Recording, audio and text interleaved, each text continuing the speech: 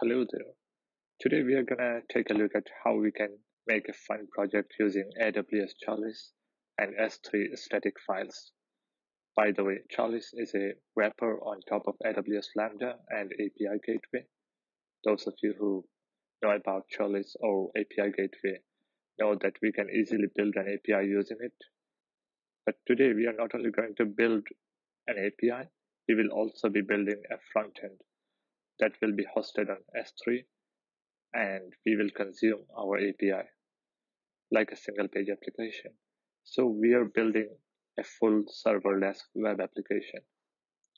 Chalice is an open source Python framework built by AWS itself, and it makes Lambda and API Gateway a breeze.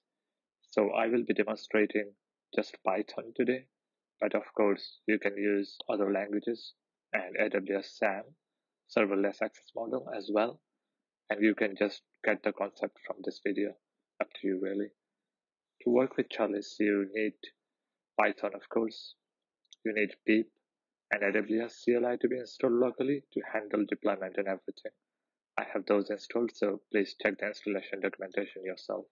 I have a live. Come on. Now I'm going to create a new project in my terminal. I'm going to open it in my IDE now we have some boilerplate files here, but we will focus on app.py for now. It's an entry point file for Chalice. Here you can specify a route and when hit, this will return this thing as JSON. Let's create our own endpoint super quick. We will call it app and it will return a dummy header image and some menu items just an example really. Now we are going to quickly deploy this thing. And I know you're thinking, wait, deployment? So quick? This is a real magic with Chalice and whole ecosystem. So we are simply going to run Chalice deploy command and we have our API ready, believe it or not. We will call our endpoint now from the browser. Here we go. We receive our JSON as we specified. So we started with zero and now we have our API ready in minutes. How cool is that? In the background, we have our Lambda function and API gateway created, all taken care of by Chalice. And these AWS services are not expensive if you have a small application. And they have a free tier as well. Of course, for this Chalice deploy thing to work, you need to have AWS CLI and your AWS keys in your local machine or where you are deploying from. Please make sure to check the documentation for this. Now, as we have our API ready, we will build a Dimple frontend that will consume this API. Dimple? Oh, I mean, that's simple. And we will be deploying this frontend to AWS as well. No server to manage. I will show you how. Now we will create an assets directory under this a JavaScript directory and a CSS directory Maybe we can use Sass here, definitely optional. Here we will create a blank, SCSS file. file and a blank Sass file. Now I will create a basic Webpack and NPM workflow by which we will transpile or compile our assets to their single bundle files. Again, this is optional as well. I will use a Webpack wrapper tool called Laravel Mix. It's because I don't like the hassle of setting up Webpack I am not going to explain how we are going to set up Laravel Mix, but I have another video just on Laravel Mix. Link is in the description. You can check this later. Okay, fast forward. Our NPM and Webpack workflow is ready. Basically, I have added these files that are selected. Some of those are part of Laravel Mix. What it does is it transpiles these four source files and all their dependencies to a single file that we have instructed it to put in our static directory. We will simply run Laravel mix by running npm run dev and it will build our JavaScript and CSS files to our static directory. Here we go. Again, for all the details, please check my Laravel mix video, not now, but later. To consume this API from JavaScript, I have to make some AJAX request. Uh, this is no fun, so I will use a tool called Axios. Let's install it by npm. Cool. Now we have added the code to make a GET request to a certain URL. Which URL? We don't know. Let's run Chalice URL. It will give us our API's remote URL. Copy paste it. It's the base URL and our endpoint that we want to hit is slash app. Now we have to use this file in our HTML. So let's create an HTML file directly in our static directory. No magic here, promise. We will use our CSS file and our JS file. In CSS, I'm going to make our background a bit darker. So when we see this in the browser, we know that something dumb is working. Optionally, I'm going to git ignore all the generated files that we have. We don't want this in our version control. Chalice gives us a boilerplate git ignore, and I'm going to add this. What I meant is we are going to ignore all the compiled files in our static directory except index.html, which we just created, and it's not generated.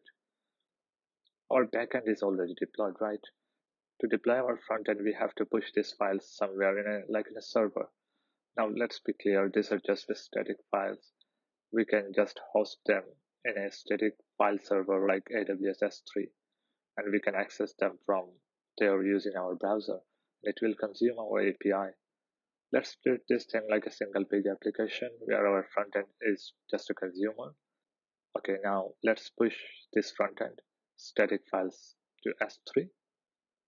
To do this, we can either manually upload these files in an S3 bucket, but it's not cool. So we can utilize AWS CLI and push these files programmatically. To do this, I like to create a makefile and I keep all commonly used commands there. Fast forward, I have added these commands in our makefile, which, our which is our deployment procedure. If we run make deploy, this will run those set of commands, which means we are copying all these three files into our S3 bucket sorry, it's app.js and app.css not application. And we will specify our bucket name here shortly. After deploying our front-end code, we will deploy our backend. So it's up to date. So I have created an S3 bucket just for the purpose of this video. Let's copy our bucket name and use it in our deployment steps. Let's run our build and run make deploy. I know you are curious to see these files in S3, but before that, a life lesson about makefiles. I highly recommend using makefiles. It really makes our life easier. And once you get used to it, you will know what I mean. Here we go. Files are here. Now this S3 bucket is by default private. We can't use this index.html file as a public web page. To make it public, we have to change some configurations you can see there is a static website hosting option. That means we are not doing any hack. AWS wants us to use this whenever needed. So we will enable it and provide our root file index.html, save. So looks like it's done, but it won't work for sure. Now we have to make this bucket specifically public. We can see here block public access is turned on. We have to turn it off. We will also have to make each and every file and all future files of this bucket public. To do this, we have to add a policy by adding this bit of code. You will find it in the description, uh, but be careful. Don't put any private files uh, in a public bucket. Definitely use a separate bucket for putting all the public files. Let's head over to our website again. Now you can see it's working. Yes, look closely. Our CSS is working, but if we check the console, uh, we can see our JavaScript is not completely working. What this means is our front end can't access our backend due to some CORS issues because they are not in the same host. So the browser is preventing them from communicating in the background. Fair enough. To make it work, we will have to specify allowed host URLs in our backend CORS configuration which you can do it yourself. But to keep this video simple, I'm simply gonna allow any host to access our API. As we have made a change, we have to deploy again, make file for the win. Now we can see our Ajax request succeeded and it's getting the response that we are serving from our API. Let's do some fun with this data. To move ahead, I'm quickly gonna install Vue.js. If you don't want, you don't have to. And I'm gonna make a dummy website out of it. To not to make you bored watching the code, I have added some code in our app.js. I have set the header image and menu to what we have received from the server. Let's keep our build process running in another terminal so that it keeps building in the background. Now we will run our deployment again. Wait, I forgot to specify our Vue element. Deploy again. Back to browser. Now we see our header image and menu is set to what we have received from our server. Now let's see something in action. So to save you some time, I prepared this code.